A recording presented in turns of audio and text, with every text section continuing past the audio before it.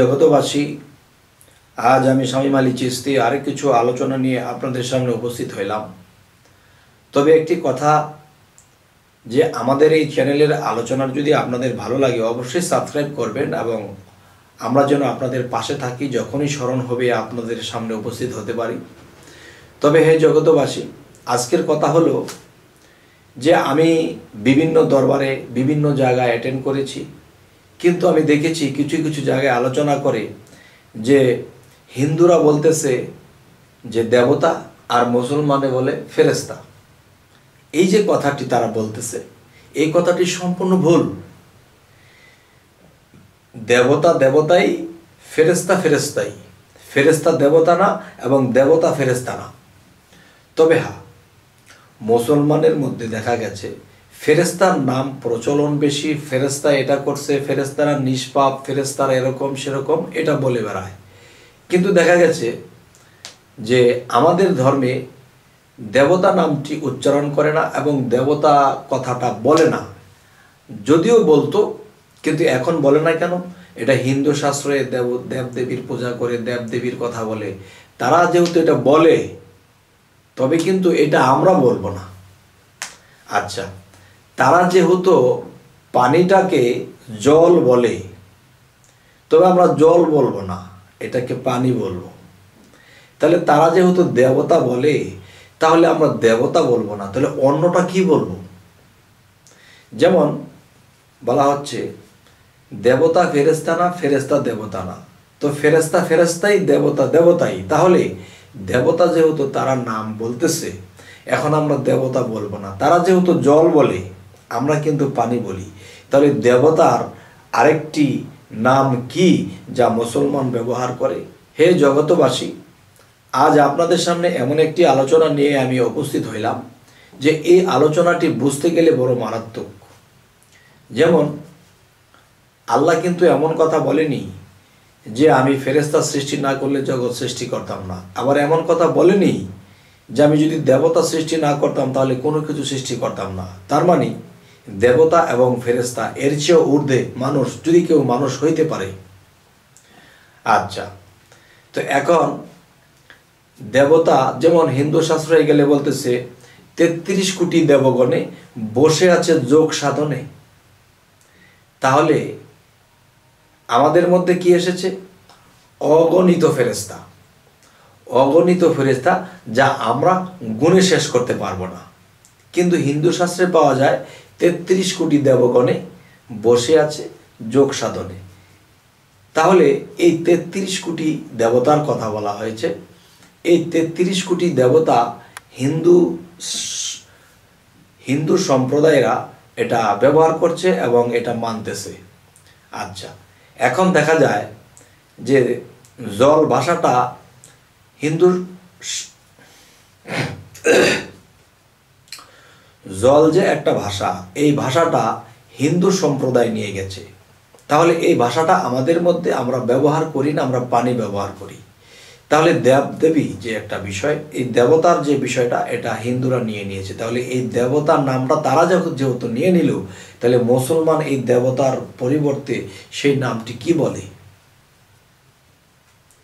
সেটা বলে, আমি যেটা বলব ইউটিউবে না হই চলে, কিন্তু তবু আমি ইঙ্গিত করব জ্ঞানীগুণীদের মাঝে। যদি জ্ঞানীগুণীর মাথায় ধরে, তাহলে লাগবে কাজে। আর কিছু লোকের কাছে আমি এই কথাগুলো বলে হয়ে যাব বাজে। তবে আল্লাহর কাছে বলব যে, এই কথাগুলো যেন মানুষের ভালো কাজেই লাগে। তো হে জগতবাসী যেমন দেব, দেবতা। এই দেবতা বিষয়টা কি? এই দেবতা বিষয়টা হলো যে দেবতা হলো ঈশ্বরের গুণের রূপের শাখা। এই দেবতা হলো ঈশ্বরের গুণের রূপের শাখা। আচ্ছা বা শাখার রূপ। আচ্ছা এবার আসি ফেরেস্তা কি? ফেরেস্তারা আল্লাহর গোলাম ফেরেস্তারা আল্লাহর ডিউটি করে ফেরেস্তাদেরকে আল্লাহ যা বলে তাই করে ফেরেস্তাদের মধ্যে কোনো রিপু নেই। আমাদের মধ্যে ছয়টা রিপু আছে, কাম, ক্রোধ, লোভ, মোহ, মায়া, মাৎসর্য। এই ছয়টা রিপু মানুষের মধ্যে আছে, মানুষ ভালো করতেছে, খারাপ করতেছে। কিন্তু ফেরেস্তারা শুধু ভালোই করে, তারা খারাপ করে না। কেননা খারাপ করার মতো রিপু তাদেরকে দেওয়া হয়নি। তাও দুইজন ফেরেস্তাকে রিপু দেওয়া হয়েছিল। সেই দুইটি ফেরেস্তা কিন্তু আজও পর্যন্ত ঝুলতেছে আর ছয়টা রিপু নিয়ে একজন মানুষ আউলিয়া হয়ে যায়, আল্লাহর সাথে মিশে যায়। তো আজকের যে কথাটি, যে দেবতারা হয়েছে ঈশ্বরের শাখার রূপ। তাহলে শাখার গুণের রূপ যদি হয়ে থাকে দেবতারা, তাহলে আমাদের মধ্যে কি?